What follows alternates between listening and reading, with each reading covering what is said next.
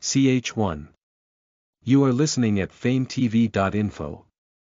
Forward slash forward slash the wretched Grand Princess of Danyang, what are these white banners doing all over the street? Wow, even all the officials are wearing white belts. How many days have you not been out, don't you even know about this? The princess protector is dead ah. The whole country is mourning. The princess protector. Do you mean Princess Danyang? Isn't it a good thing that she's dead? It's time to beat the gong and beat the drums to celebrate ah. Shoo, if these words are heard by the officials, they will arrest you and throw you in prison. The people in the tea house sat at the table in twos and threes, looking at the paper money filling the whole sky, there were a lot of discussions. If you want to talk about Princess Danyang, then she is but an old moth of the Northern Wei dynasty for 12 years, a great scourge that is terrified by the whole court. She is clearly a daughter, but regardless of shame, she has raised dozens of gigolos, hooked up with courtiers, played politics, as well as framed loyal and upright people, wherever she went, corpses were everywhere, and the people were destitute. Her evil deeds are numerous, her crimes so innumerable that it's hard to count that if you want to write a biography for Princess Danyang, there will definitely be many officials in the central court who will jump out and add their pen, carefully using the harshest words to nail and humiliate the princess forever to the monument of history, so that she will never be able to be reincarnated, however. Good and evil are rewarded, the grand princess who has been arrogant for many years, was finally imprisoned in Feiyun Palace for murdering an important minister, in the eighth year of Daxing. Even more so on the day the new emperor hold reign, she died of illness, in her mansion, bleeding from the seven orifices, an extremely tragic death, the government decently held a funeral, but the common people inwardly felt happy, evil is rewarded with evil.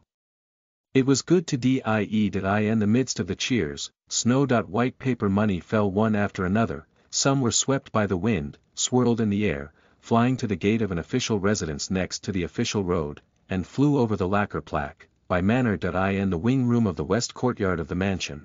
Someone turned over and inadvertently swept away the medicinal bowl that had been placed by the bedside, pa, with a crisp sound, Li Huaiyu suddenly woke up, her heart beating like a drum, and she broke into a cold sweat when she opened her eyes. She propped her body to sit up, her throat gasped uncontrollably, her eyelashes trembled violently, and it took a long time for her nerves to return to normal, whereas this, the simple and crude wing room is filled with old and cheap furnishings, and the light filters through the mottled carved windows, shining out the dust in the air, which is as hazy as fog.as she frowned and stared at the dust for a while, Huaiyu was a little dazed. The door was pushed open with a creak, and a servant girl. With a water basin stepped in. When she saw her, she said happily, Young miss, you are finally awake.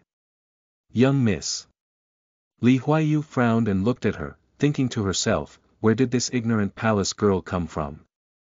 She has been called, Your Royal Highness since birth, when had she ever been called Young Miss, this time you have frightened this servant, this servant almost thought that you took your last breath.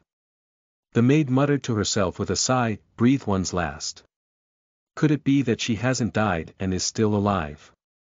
Huaiyu was taken aback, and took a deep breath, she really is still breathing, she, didn't die. A wave of tremors spread from the tip of her heart to all parts of her body. Li Huaiyu got up excitedly, jumped out of bed, rushed to the window sill, and pushed the wooden window open, the sun was shining brightly, shining down from between her fingers, and falling on her face, it was very warm.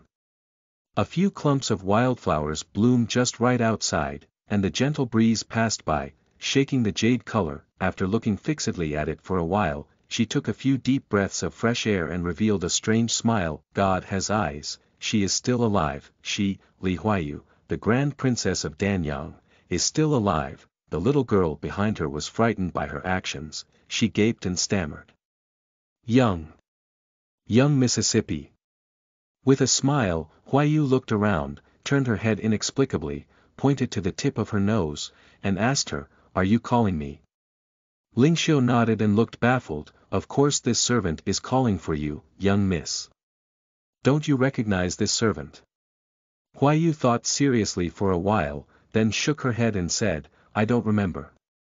Her last memory was of Feiyun Palace, 27th of the third month, where she drank the red poison given by the emperor, spat out a mouthful of blood and lay down on the soft bed, there was a group of people kneeling in front of her, red eyes choking and kowtow to her, and shouted in unison. Your Highness, these two words sound like flute blowing wines, and the phantom echoes a few sounds in the hall, mixed with forbearing cries, which made people's heart feel sour, then she closed her eyes and fell into darkness that it stands to reason that she should be dead. Even if she is not dead, she should still be in Feiyun Palace. Why is she in this strange place? After glancing around the surrounding in doubt, Huaiyu saw a dressing table and quickly leaned over to take a look, the person in the mirror is very strange, with fine eyebrows and soft eyes, pale skin as if she has never seen the sun, and black hair like clouds. With a palm-sized face, small earlobes, and a slender neck, she was dressed in a half-worn dark-colored cloth, with her body devoid of flesh, she feels that she could be blown away by a gust of wind, this is not her, the world knows that Princess Danyang is unruly and domineering, half relying on her royal status, and the other half because of her unparalleled martial arts. She has been practicing martial arts for many years, and her body is full of steel tendons and iron bones, how could it look like this bamboo pole, but when she moved, the person in the mirror also moved. When she grimaced, the delicate face in the mirror also wrinkled, with a sinking heart, Li Huaiyu turned her head and asked, what is the year and month of today? Ling Xiu looked at her dumbfounded and said blankly, today is the eighth year of Daxing, the fourth day of fourth month, the fourth day of the fourth month. Huaiyu's lips suddenly turned pale, has Princess Danyang already passed away? Ling Xiu nodded, she passed away, today just happens to be the seventh day of her death, the officials are currently holding a funeral. Li Huaiyu, Princess Danyang's funeral is already held, then who is she, subconsciously shaking her head, she felt that the matter was so bizarre that her lips trembled. After turning around twice, she said, I'm hungry. Ah. Ling Xiu nodded her head absently, this servant will go and serve you food now. Huaiyu nodded, and calmly watched the little girl run out. When she couldn't see the figure, she took a deep breath and lifted her skirt, and rushed out, her body is at the funeral, but she could still talk and jump in another person's body, this kind of thing. If she didn't see it with her own eyes, even if you beat her to death she still wouldn't believe it, rushing out of the room, it seemed like a large courtyard outside, Li Huaiyu didn't have the heart to look at anything, and while avoiding people, ran all the way through the moon gate corridor to find the outermost courtyard wall.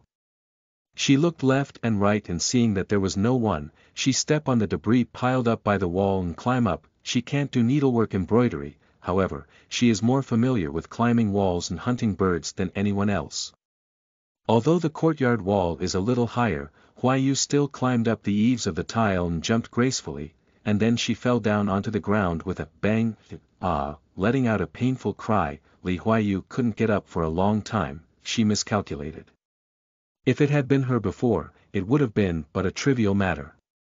But now, her body seems to be very weak and not very obedient. Unexpectedly, she actually fell down directly, it was such a disgrace, but fortunately, the place where she fell was not bad, softer than the stone tile floor, so it would not hurt, but her lip was broken by her teeth, and there was a rusty taste at the tip of her tongue, hiss, it really hurts, before she could get up, a cold light flashed beside her, and a murderous killing intent came to her in an instant, who is it? Li Huaiyu was startled, and when she looked to the side, there was a guard in a black robe, looking at her with a frown and holding a sharp blade, what about it? She's just climbing over the wall, she's not assassinating anyone.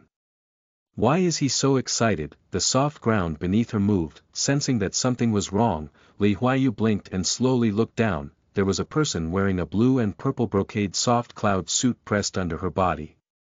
The jade crown was still upright, and his expression was calm. A pair of ink dot dyed eyes glared at her, like a black dragon breaking waves. Some of his whitened lips were dyed with a touch of bright red, like flowers blooming in the snow. At first glance, Huaiyu was a little surprised. This person is really out of this world ah, his appearance is really handsome and his expression is also good, however, at a second glance, Huaiyu recognized who this face was this. This person, still not getting up. He said coldly, hearing this familiar voice, Huai Yu's face changed from shock to livid. Sitting on him, not only did she not get up, on the contrary, she even had the idea of wanting to crush him to death. Enemies really are bound to meet on a narrow road, Jiang Xuanjin, the paper money fell down from all over the sky. Li Huaiyu casually pinched one and looked down at the person underneath her. Her heart was filled with hatred, the world said that Princess Danyang was blamed by the new emperor for the murder of important ministers and died. However, Li Huaiyu, herself knows exactly how she died, she was killed by this Xiang Jun Jiang Xuanjin. On the 27th of the third month, the eighth year of Daxing, a good day for funerals, Jiang Xuanjin's gaze was calm as he offered the red poison, and his voice was full of Buddha fragrance. Greetings to your highness. He said, wearing her favorite Yaoqi peony palace dress, Huai Yu sat on the Rui Huan couch and graciously accepted the poison, and drank it down, Your Majesty must live a long life and be a hundred years old ah. She laughed, this was the last thing she said to him, not in a tender and loving way, but with the resignation of having to turn into a stern ghost to take revenge, every word squeezed out from between her teeth. While saying this, she swore in her heart that as long as there is still a chance, she will definitely make Jiang Xuanjin can neither live nor die, now, surprisingly, we actually met again. Listen to the full novel at fametv.info, direct link in the description.